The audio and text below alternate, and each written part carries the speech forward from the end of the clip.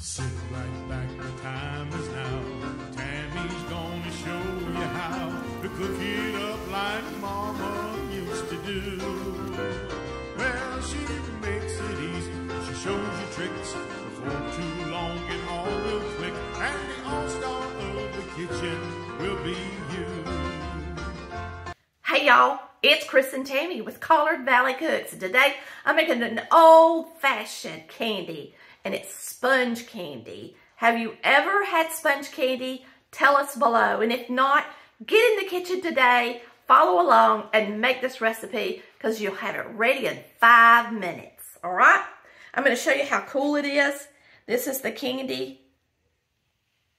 And you're going to cook it until it strings like this. And then you're going to enjoy it when it cools down.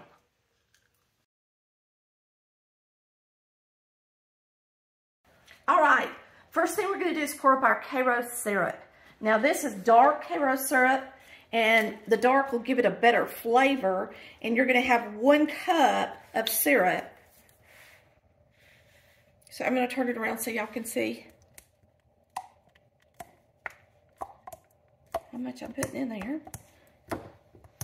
So here goes our syrup, one cup.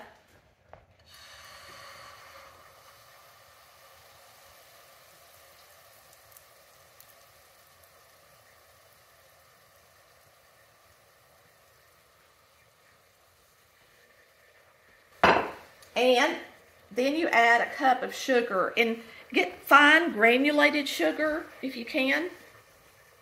So we're going to put this in there and then I'm going to stir it. Now, once this starts to boil, we're going to boil it three minutes and we we are going to check on it. So it may take it longer than three minutes. So what you're going to do is um, boil it until all the sugar dissolves and it's got to get to a string stage, which is a hard crack.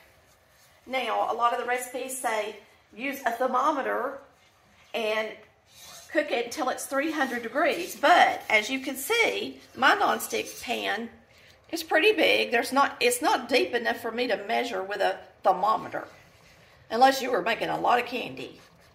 So if you want to double the batch, you might could get a thermometer in it and use a smaller pot. Uh, but I'm just doing it this way because I can throw it in some water and see when it strings. So bring it to a boil first. Get it mixed up good. And get all the sugar off the sides that you can. And then we're just going to discard this. You're not going to put this back in there because it's got sugar granules on it. All right? So what we're going to do is we're going to put a lid on it. And we're going to wait till it starts boiling all the way across. And when it does that, we're going to turn the timer on three minutes. When that timer goes off, I'm going to check it and see if it's hard crack. Most of them will say three minutes. But we're just going to check it and see. All right? Now, it matters how thick your candy is. In this pot, it's really thin. So it may cook quicker than it would if it were deep in a smaller pot. Um, that's why you can't give anybody a time when it comes to candy. You typically use a thermometer. Um, but now we're waiting on this to come to a boil and you can see, I'm going to open it just so y'all can see it.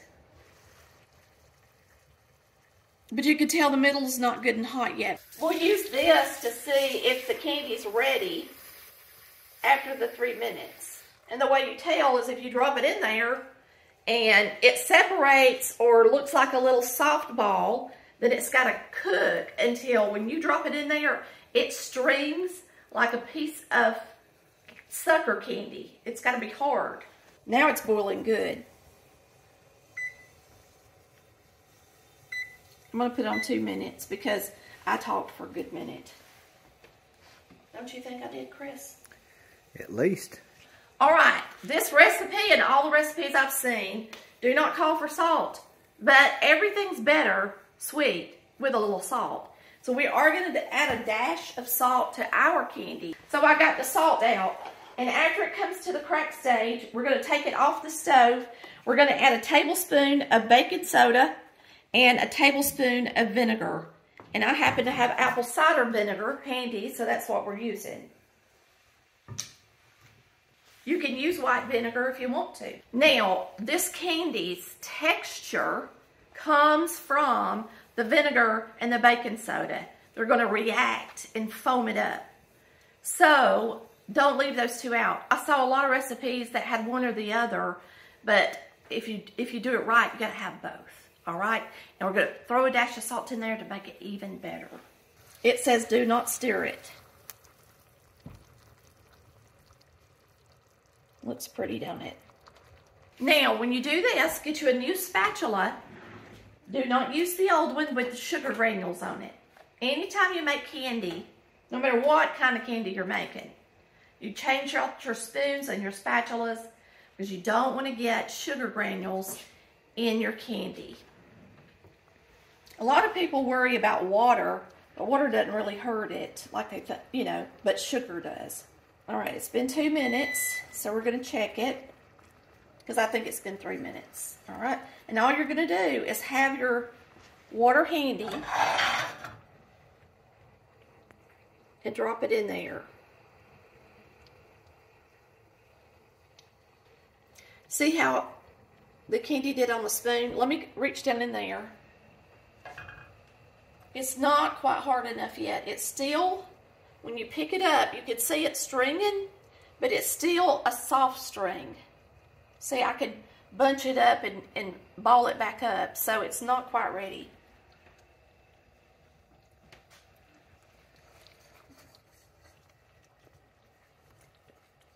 Now let's try.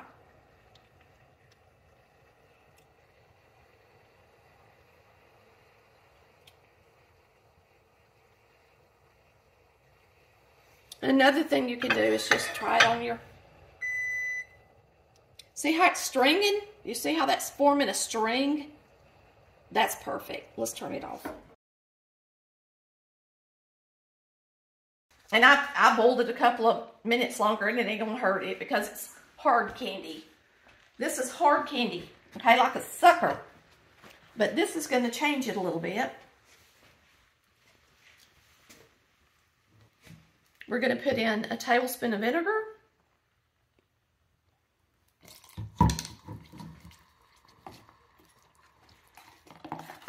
A tablespoon of baking soda. And a dash of salt. And stir it up. See how that reacts?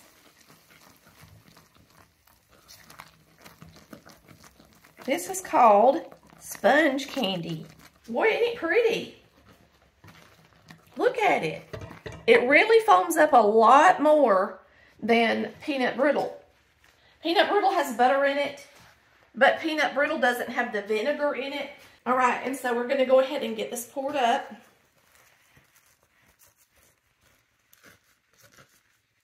And this is the size pan it says to put it in. So if you do the one cup, one cup recipe, nine by nine. Some people do two batches at one time. But y'all look at this. This is a nonstick pot. And it's still wanting to kind of stick in there. So what a mess it would be if you used a regular pot. It would just take forever to get all this candy out of it. I have never had sponge candy. I had a request for it today. Um, and I thought, you know I'm going go in there and make that. It won't take me five minutes to make that candy. We're going to break it apart once it cools down and into pieces. Look how it's stringing on the, watch this, y'all. I want y'all to see what stringing means. A lot of people, I tell them, I say, cook it till it strings. And they're probably like, well, what is she talking about? This is what I'm talking about. Watch this. Let me do it on this side so y'all can see. Yeah, you got to kind of get it far off. See how that's turning into a string? Like a hair almost. So it's hot, but look, I can pick it up. A lot of people decorate um, stuff with candy strings. Uh, they just make a clear candy and they would use the clear Karo instead of the dark. I'm curious to see what it tastes like. Okay, I buttered the dish, but I'm going to go around it with my knife to loosen this up. So you're just going to go around it. It's going to have to be pretty thin, whatever you use. So like a regular case knife, butter knife thing, it's probably not going to work. And y'all, I buttered this thing. Think it's going to need some coaxing. You may just supposed to beat it up in the pan, but here it comes. Aha! I didn't want to beat it inside the pan because I don't want to mess up my... Look at it. It looks like a sponge, for real. I think I did it perfectly. It looks perfect. Awesome. It looks just like a sponge. Okay. Um, she got a piece and she's chewing it. Yeah. Chris, get a picture for chewing you it. Better. It's funny. Soda. you better hang on to your... She's still chewing it. Yeah, you better hang on to your teeth with this one. Your caps and your teeth. Okay, I will say, for real, um, this is going to be chewier than peanut brittle. Even if it had, it has more soda in it, so you would think it wouldn't be, but it's going to be chewy. So if you have fillings and caps and stuff, you might want to um, put it in your mouth and just enjoy the taste, and like a sucker almost. But now it's it's uh, spongy in the middle. I'm gonna put, take a piece, put it in my mouth. Mm-hmm. No sticks to them. Oh, Lord. and I know I cooked it long enough. It's It sticks to your teeth immediately. It's delicious, so, though, ain't it? Yeah, it's like... Uh, it tastes kind of like a Bit-O-Honey. Yeah. The inside of a Bit-O-Honey. If you need to do any talking, you don't need to. So, I'm going to go ahead and tell you right now. This is a very cool candy.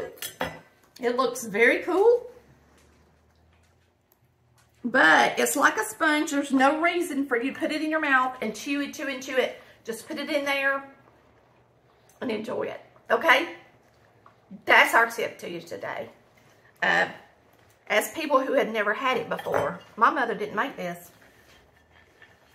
Did you ever have it, Chris? No, I never even heard of it. So this is a new candy for me, but I think it looks just like a sponge. Mm -hmm. So I think we were very successful, y'all, in making our sponge candy today. And I can tell you right now, I'm going to put some in here. I actually just, um, I'm just going to put, I'm seriously just going to put it in my mouth. That's what I did with the last one. It's already melted. Yeah, don't try to take a bite out of it. No. Eat it like you do a piece of peppermint. Don't chew on it. Just enjoy it. Mmm, it's so delicious. Mmm, it's so good. It tastes a lot like a Bit-O-Honey. And that's one of my very favorite candies. So, yummy. I hope you've enjoyed watching Sponge Candy. That's a lot of candy. Yes, it is. I mean, because you can only eat a little bitty, tiny bit of it at a time. That is a lot. Yes, it is. And I would cut it in little pieces so you're not tempted to bite into it, okay? But it's good. It's really good. And it's so simple to make. Y'all have a wonderful and blessed day. And thank you for the tip on uh, giving it a try because we really like it, okay? We'll see you next time on Collard Valley Cooks where we cook like our mamas did. Make you some sponge candy. time, it's over now. Tammy, she just showed you how to cook it up like Mama used to do.